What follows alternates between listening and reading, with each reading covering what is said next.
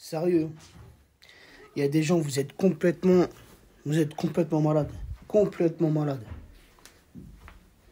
Un coup à l'entraînement, pour ceux qui ont fait du foot, ça arrive très régulièrement. Et là, malheureusement, j'ai envie de te dire, on l'a vu, hein. Gay, il a mis une semaine à Bappé. Mais, eh, faut aussi reconnaître que les médias, ils ont joué un rôle aussi sur cette petite histoire qu'il y a eu là. Avant que les images ne soient diffusées. hein. Tout de suite, les médias, ça nous envoie du Mbappé incertain, Mbappé a reçu un cours, euh, des- euh, a reçu un cours, a reçu un coup, des examens, machin, plus approfondis, ceci, cela, il sera incertain, nanana. Ça joue. Les médias, ça joue sur ça. Tu vois ce que je veux dire? Justement, pour faire vendre, pour faire parler du Paris Saint-Germain. Et on le sait. Et bingo, ils ont gagné. Ça a marché.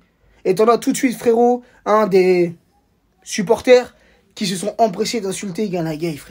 C'est dans ces moments-là, frérot, que tu te poses réellement la question. Et attention, hein. Attention, vous me connaissez, les amis. hein. Vous savez très bien comment je, comment je fonctionne, comment je vois les choses, comment je réfléchis. Moi, je suis pas là à faire la différence entre euh, les supporters de la première heure, euh, ceux qui viennent d'arriver, ceci, cela. Hein, c'est pas, tu vois, c'est pas mon délire à moi, tu vois. Moi, je respecte chaque personne.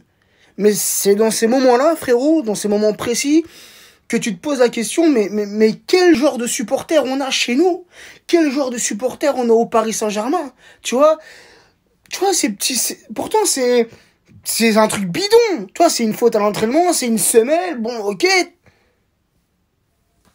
Mais non, ça vient. En plus, maintenant, avec les réseaux, ça va très vite, hein. Ça vient, ça insulte euh, Ghana, sa famille, sa mère, sa femme, son père, ses enfants, ça... Oh, les gars Oh Faut savoir, les amis, qu'à l'entraînement, là, surtout ces derniers jours, on a des joueurs qui s'entraînent à fond. On a des joueurs qui se donnent à fond. D'autant plus les titulaires, et notamment Idrissa Gueye et Kylian Mbappé, hein, qui sont des titulaires. J'ai envie de te dire, pra- pratiquement indiscutables. En tout cas, pour Mbappé, c'est indiscutable. Mais même Gueye au milieu de terrain, c'est un élément important, frérot. Important.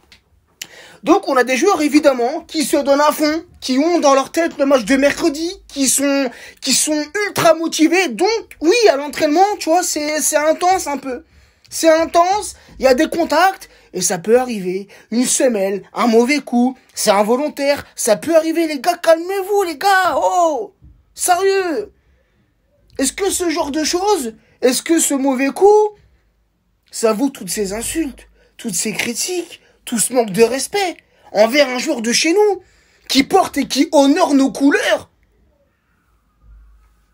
D'après certains à croire que, que Idrissa, il s'est dit à l'entraînement, tiens, papé, et lui, je vais lui mettre un de ses coups, frérot, il va pas être là pour le Real.